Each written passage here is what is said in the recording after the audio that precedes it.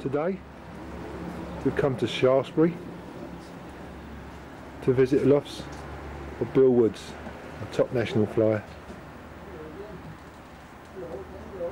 Okay, Thanks very much for letting me come and see the pigeons today, Bill. that's right. Most welcome. It could have been a better day, it's a bit, Well, bit overcast, but that's- it is winter anyway. Yeah, expect it, don't we? Yeah.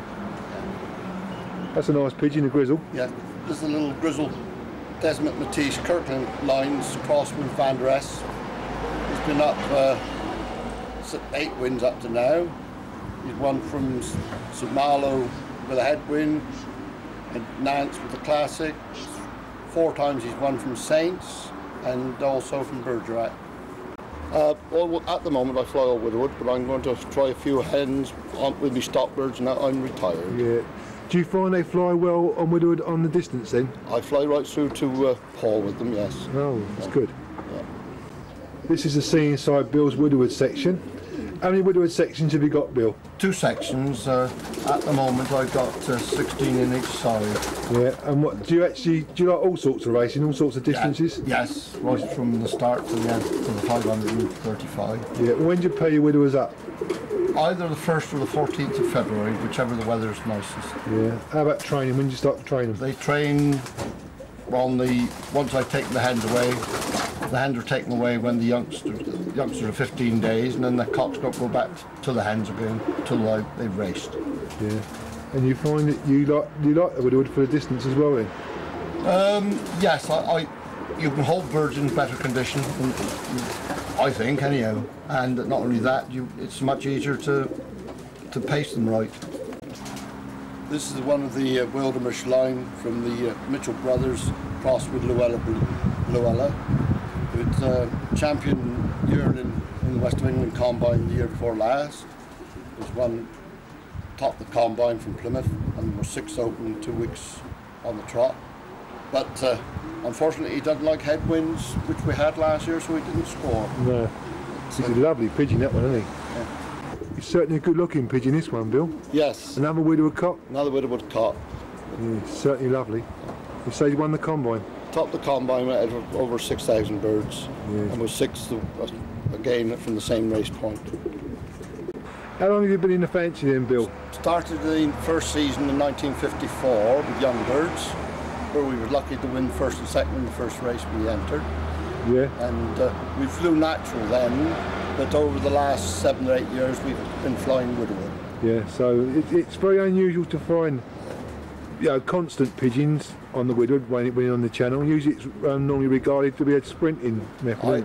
I, I find them just as good. I've got cockbird in there that was scored from 500 miles to within the fortnight with the classic and the national.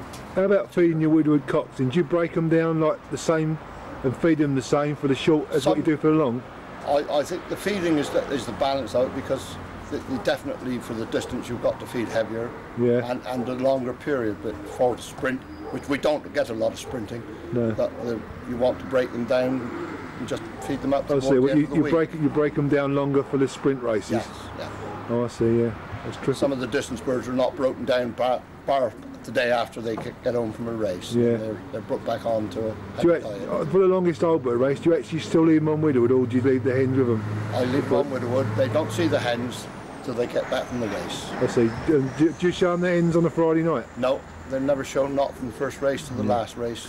Mm. How long do you leave the hens with the cocks when they come home then? Doesn't I don't any specific time. They do it quite often. It's till the last bird's home on the short races, and perhaps a couple of hours on the longer ones if there's a few birds that are still to come. Yeah. This is the old Verhey Matisse Cross. It uh, flies up outstandingly up to 370 miles. Never been past there. He scored twice this year from from Saintes. It's uh, 49th open the Saintes National. He scored there now at least six times. And also scored from Na- Nantes and in the Classic. This is Bill's young bird section, which contains his hens at this time of year. How about young birds then, Bill? How many do you breed each year? somewhere between 40 and 50 of uh, if there's a good breeding season. Yeah. Do you like your babies to fly the channel? No, I, don't, I very seldom send a bird over the water. I may send one or two to Guernsey. Do you tend to concentrate on racing the hens more as babies because they're on widowhood? Yes, the cockbirds have some only have one one race. We may have three, all according to what conditions have been like. Yeah. And the hens go through the rest of the inland program. How about training your babies? Do you actually uh, sort of train them a long way and No, do you give them a lot of work? they go up to about 35 miles as young birds training. They get a couple from there. Most of it stays at about 20. And uh, I don't train much in between racing. These hens setting up well, Bill. I think so. They've had a nice molt this year. Yeah. I think there's been a better molting this season than the last. I suppose pigeons this time of year look at their best anyway. It's saying to look good this time of year, ain't If they don't look good now, you've had it for next season, I'm afraid. Yeah. What families of pigeons you actually keep then?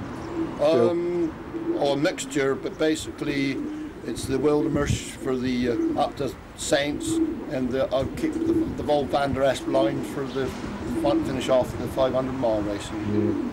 Well, Bill, I really enjoyed my visit, mate. Thanks very much for inviting me.